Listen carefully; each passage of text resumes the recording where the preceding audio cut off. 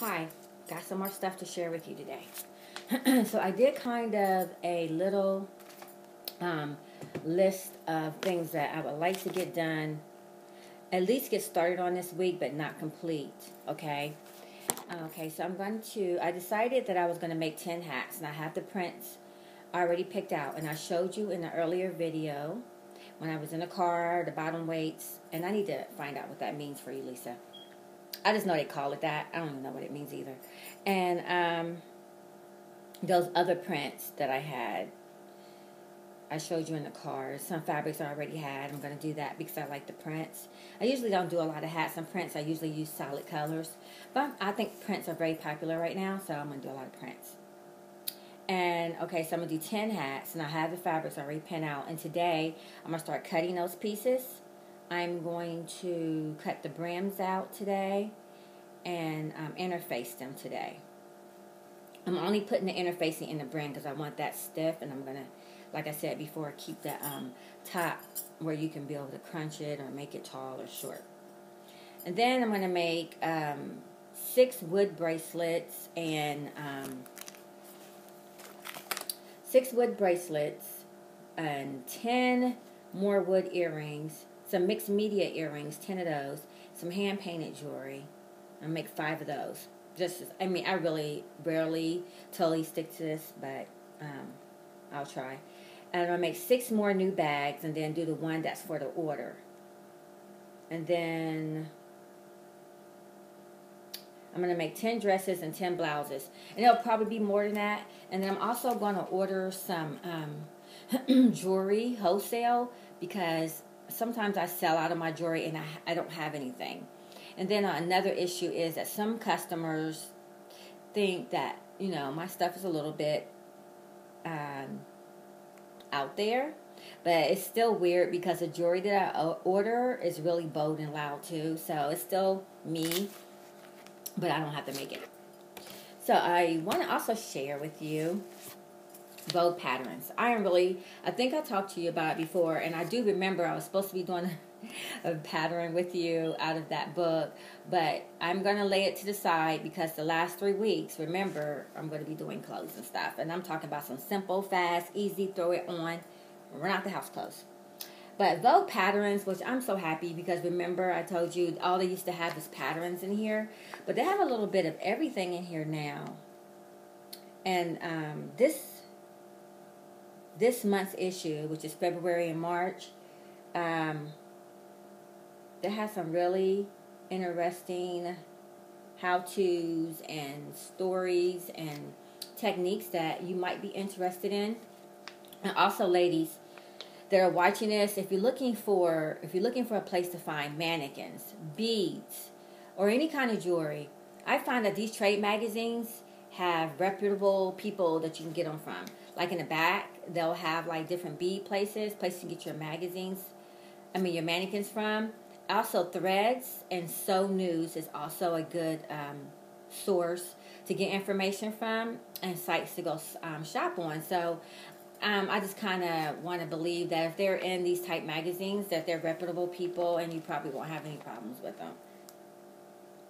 Okay, um, one guy I've been following for the last two years. His name is Shingo Sato. And I'm going to spell that for you because you can find him online. And if you're interested, now it's really, I think it's for advanced techniques. But if you can find him on YouTube, I'm sorry, and online, and you can take his classes if you want to travel. But his name is spelled, get your pen out, I'll give you a moment. Okay, ready? It's um, S H I N G O S S O T O. So first name S H I N G O, last name S A T O. And um, he kind of calls this technique um, transformational reconstruction.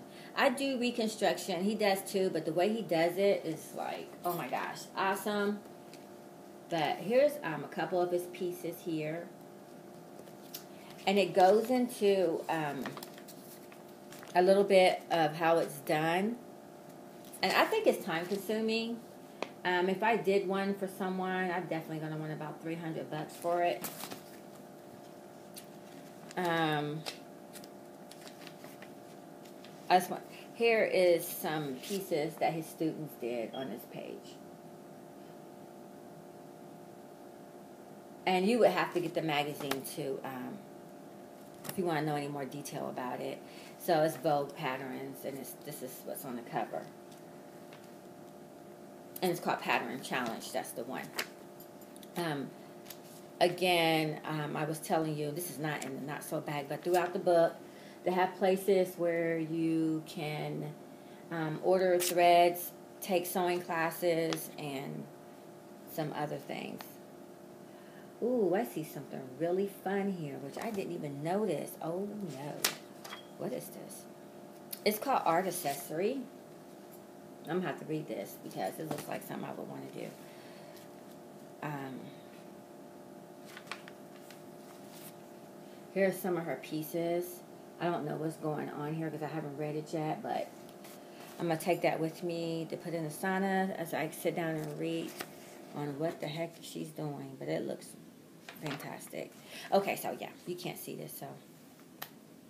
And it also has some other articles in here you might be interested in. And um, I thought some of these prints, you know, prints are very hot this year, guys. And are you guys going to be wa- watching Fashion Star this Friday? Girl, you know I am. Hey, watch it so we can talk about it and see what we think about it. Somebody we can talk to. We can talk to each other. And, you know, the girl that won last year, I think she was awesome. I need to go find out what her name is. Her style is like awesome. I didn't think she was going to do anything after um, that first couple of pieces she put out, but yeah, she really did a great job with her collection.